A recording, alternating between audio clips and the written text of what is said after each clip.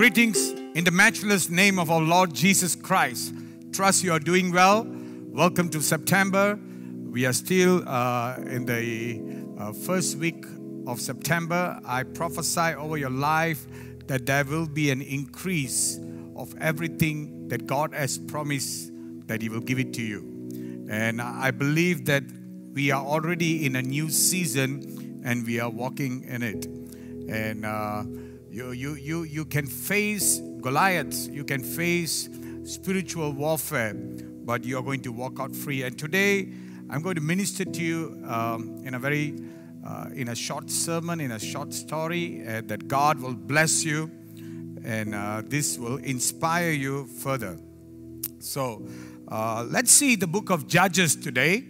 In the book of Judges, chapter 15, I was inspired by uh, one of our church pastors to minister uh, this word today. Uh, as he was sharing on the last part of his sermon Sunday, God also gave me some revelatory words, and I would like to share with you. Uh, if you're ready, may God bless you. All right, Judges chapter 15, we see a story of Samson here.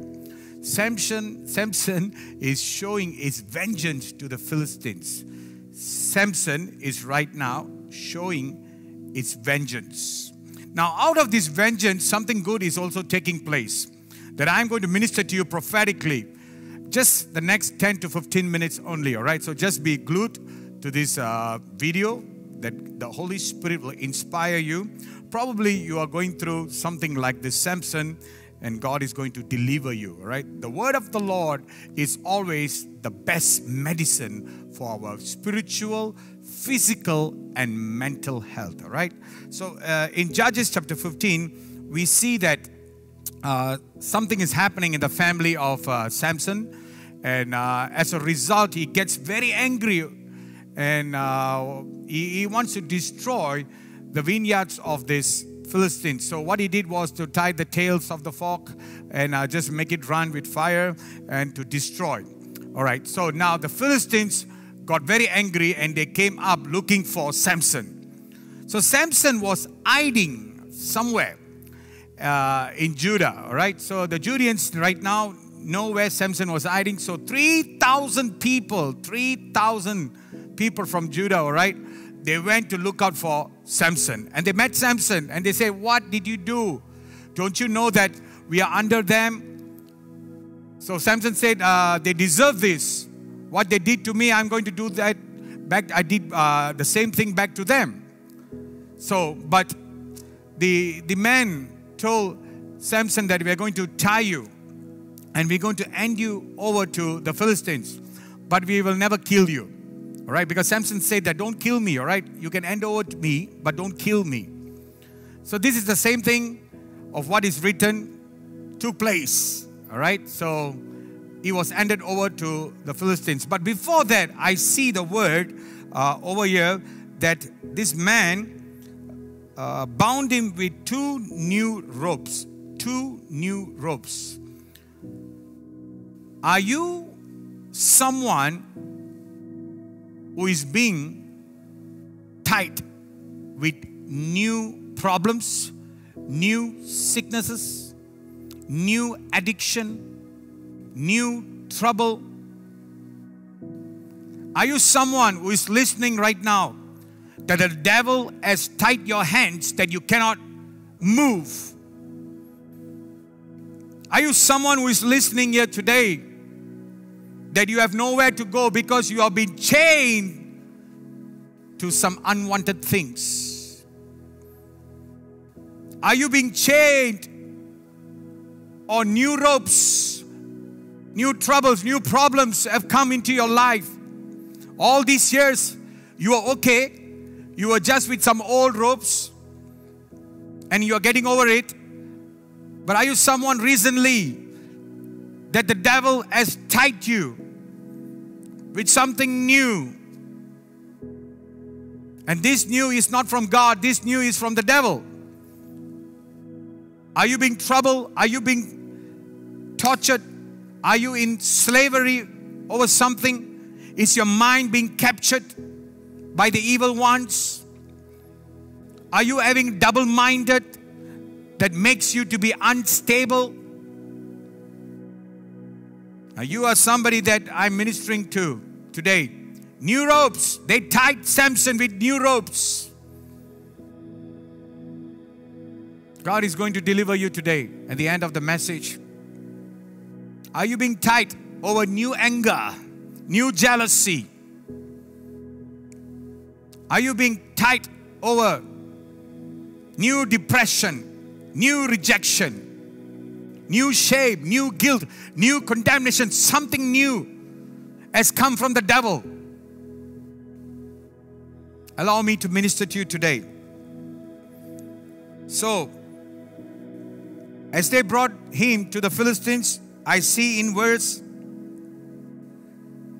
14, it says, As he approached Lehi, the Philistines came. As he was approaching the enemy's camp,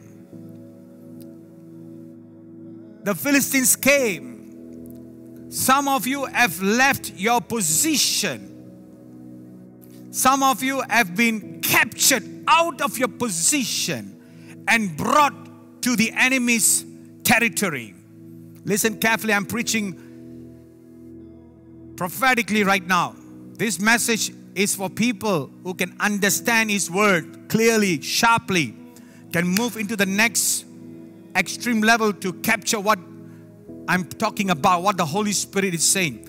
Look here carefully, all right? He's being tied up being brought out of the place where he was staying or hiding. The Bible says it was a rock.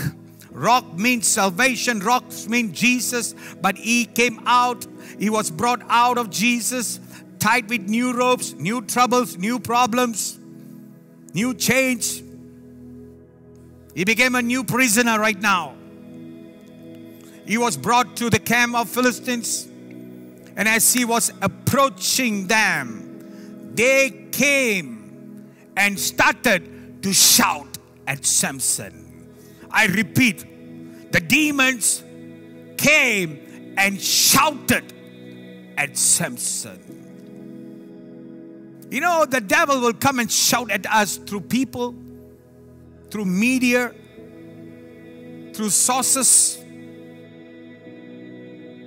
of the latest technology. The devil will come and shout together with his angels, together with these uh, fallen angels, demons that we call.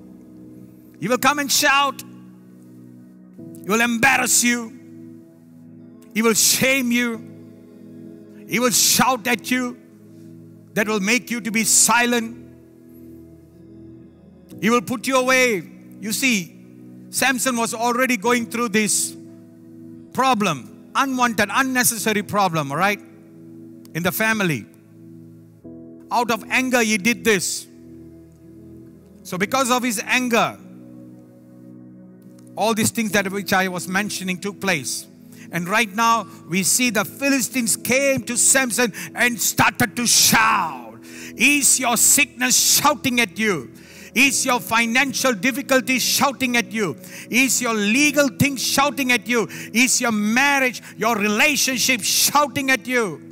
Is something at your workplace shouting at you, making you small? This is the work of the devil. This is the work of demons. You need deliverance. You need to come out. So, what happened is that as they were shouting at Samson, I see uh, in the next sentence, the Spirit of the Lord came, He came upon him in power. The Spirit of the Lord came upon him with power. And the New Testament says, when the Spirit of God comes upon you, you shall receive power. The same thing in the book of Judges, we see the Spirit of the Lord came upon Samson in power. You got to have the power of God in your life. You got to have a power of God in your life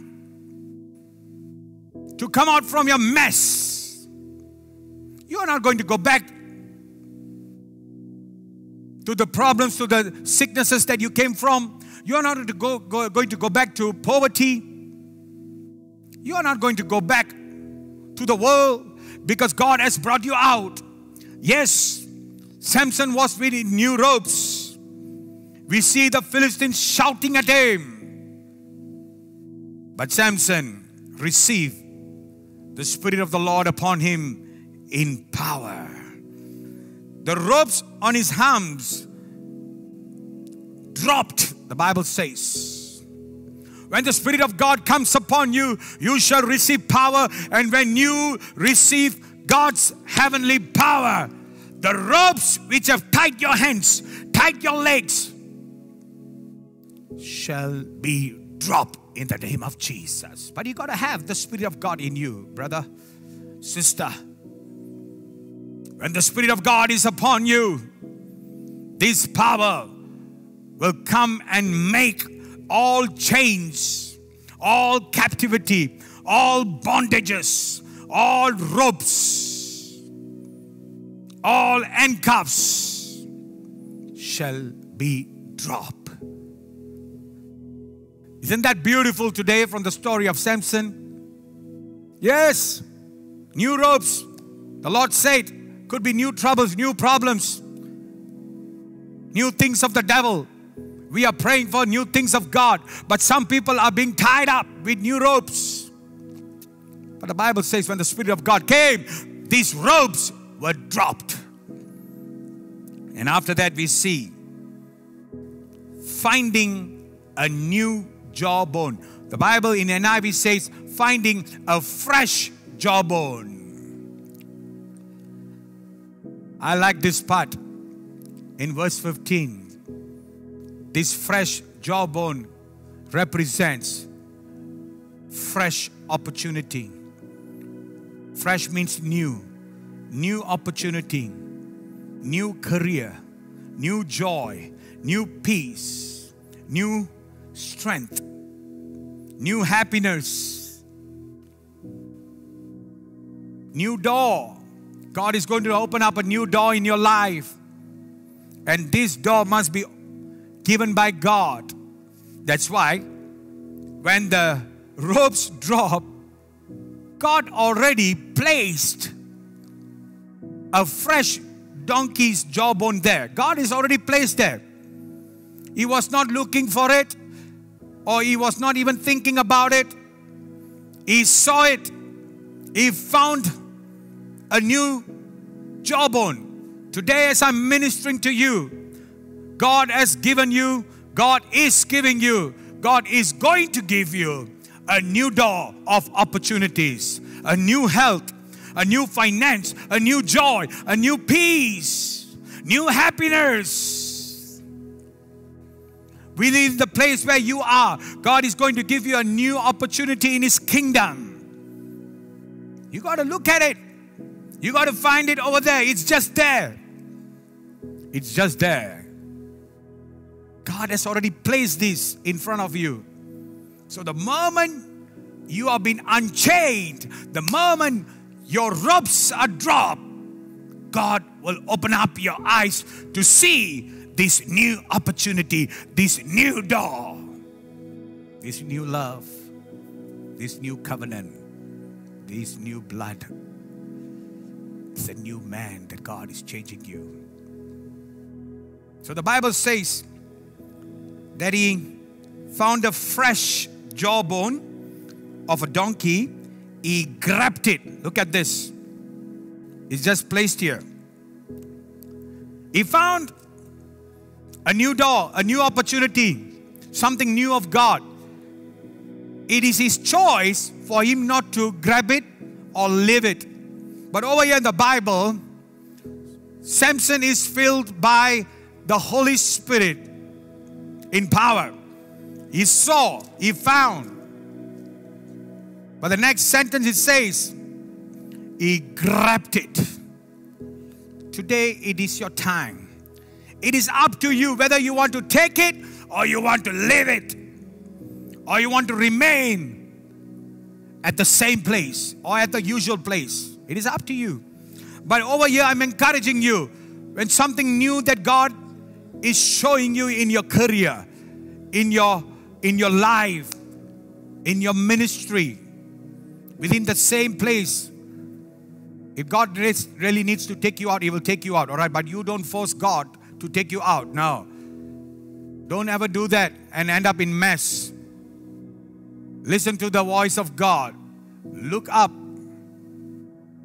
He will speak to you, minister to you, He will show you the right way. Samson grabbed the opportunity. Samson grabbed the new, fresh jawbone. And as he grabbed, today I'm encouraging you to take it, grab it in the name of the Lord. Grab it and struck down a thousand men. Ha ha ha. The Bible says he struck a thousand men. Not one, two, or even five, ten, fifteen, twenty, or hundred, or even 200, 300. One man is struck down. That means this new thing that God is about to do in your life, if it's aligned, I love the word alignment. If it's aligned with heaven's decision, not your own personal or your partner told you or your spouse said that go for it. No, there are many people who have ended up with new ropes after and after and after. New season have come with new ropes. You got to be aligned with the word of God, aligned in the kingdom of God. Alignment, spiritual alignment is very important in everybody's life. He struck a thousand men, he killed a thousand demons. So, for every fresh jawbone, you can put off a thousand demons. That's what I've learned today. Every fresh opportunity in your life, you can put off thousand demons away. The Bible says in Deuteronomy chapter 1, verse 11, it says, May the Lord, the God of your fathers, increase you a thousand times and bless you as He has promised. Increase you a thousand times. Now, if you are with the rope, if you are being tied down, you could not have experienced the deliverance. Because of the Holy Spirit, which came in power Samson was able to do what we are reading. He took the fresh jawbone. I'm prophesying of the fresh door, fresh oil, fresh opportunity in your life. He grabbed that opportunity. He grabbed that favor. He grabbed that grace. He grabbed it, took it in his hands, and he struck a thousand men Wow. Isn't God beautiful showing us a revelatory through this passage? God is going to increase you a thousand times. I prophesy in the name of the Father, the Son, and the Holy Spirit. Is going to increase you a thousand times more and bless you as how He has promised you. But there is a order here. There is an order here that we can see. You need the Spirit of God.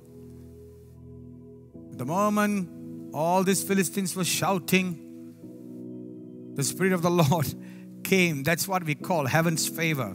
It came upon with power, all right? Never come just like that. It is, power.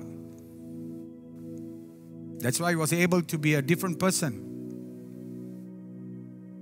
When the power came, he found something in front of him. He grabbed it.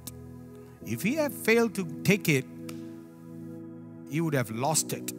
But because he grabbed it and the Spirit of God was on him, he could demonstrate the power of God through the Holy Spirit and struck thousand men. You are able to struck, strike. We call it a strike, all right? You are able. Every bad things comes, you are able to strike them off, cancel them off.